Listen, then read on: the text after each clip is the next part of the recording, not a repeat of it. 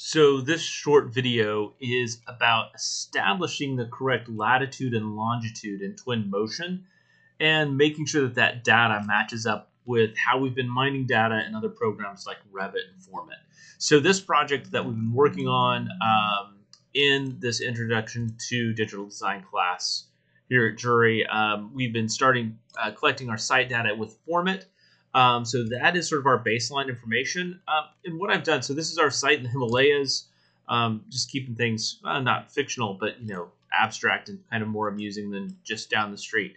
Um, we have established our location. We've brought in the terrain. I have turned on the shadow system. So let's take a quick look at that. And I know my time of day and my time of year, right? So I have all of this information. Um, available to me. Let's let's just go ahead and set this to something a little more reasonable. Let's do June um, of let's set this even to the correct year. Uh, it doesn't matter a lot, but just just for a good measure, right? So let's set that up. Time of day 10 a.m.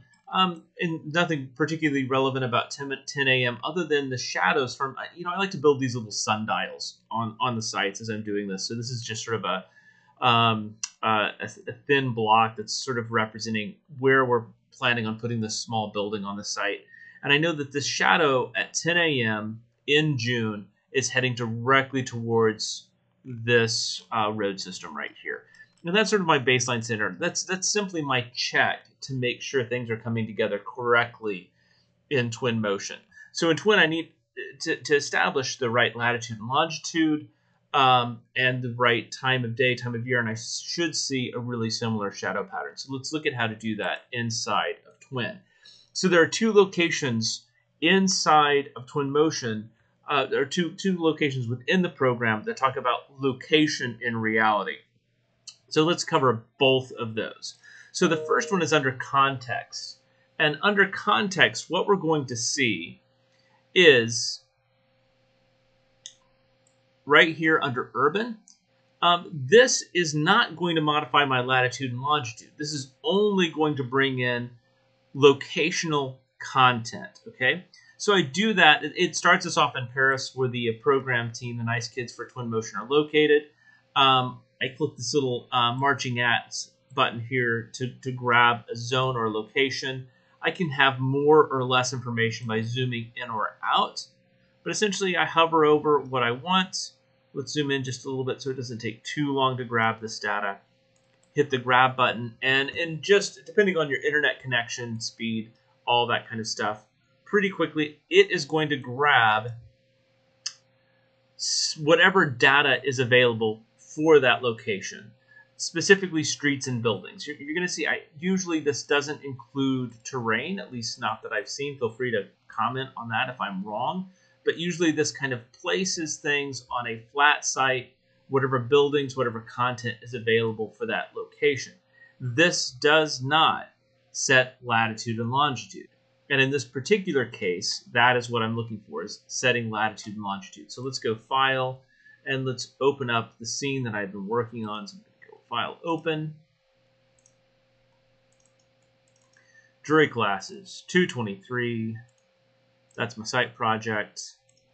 We don't need to save that one. So here's our site. Here's our human.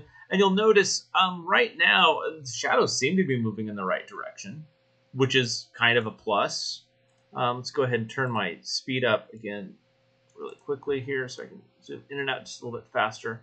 So shadows are moving in the right direction. Um, but, you know, if I look at the sun data, um, it's not the right time of day as it relates to Formit. So if I set this to 10, then I know, okay, things are not right. But I really haven't done anything inside of Twinmotion yet to set my latitude and longitude. And that's where I need to go first. So that is different from this urban setting here. It actually comes down to our location tab, which totally makes sense. So I'm going to go to location. And from here, I need to hit my little search button. And this is more generalized, right? I can take this, um, I can zoom in and out. Um, I can drag this little pointer around. But the easiest thing to do typically is just into the search. I'm just going to type Himalaya. And let's go right to something that I know is close, Himalayas in Nepal. And if you notice, that's, I mean, there's not a lot of data here. Um, so it's a little bit more tricky to work with, but I know in terms of my latitude and longitude, this is roughly the correct location, right? So then what I need to do next is still with my time of day set correctly around 10 o'clock, I should be seeing my shadows falling towards the road. But there's one other thing that can happen, and that is the translation of the geometry from software to software. Okay, I know when I brought Formit, specifically the site, into Twinmotion, it has an odd translation that happens where true north uh, adjusts by 90 degrees. And I know that simply from experience, and I also know at 10 o'clock, these shadows should be not coming to this side, but they should be falling down the site towards these rows. So if I change my true north at this point to 90 degrees, I know I'm getting something in terms of my shadow pattern that very closely resembles what I'm seeing right here inside of Formit. And I could certainly get a little bit more specific uh, in terms of how I run these different examples and run these tests to make sure that they match perfectly. But time and practice tells me, yeah, I think pretty much I've got my latitude and longitude correctly. If I have my month set to June, it was set to July, and my true north adjusted by 90%, uh, or 90 degrees, excuse me, um, I should be locked in with the correct latitude and longitude and the correct orientation for north.